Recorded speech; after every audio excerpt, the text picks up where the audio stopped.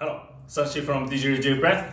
This is uh, Jesse Lethbridge uh, Didgeridoo key of D sharp and uh, longer body and uh, yeah, it's uh, gonna be a powerful sound. Let's check it out.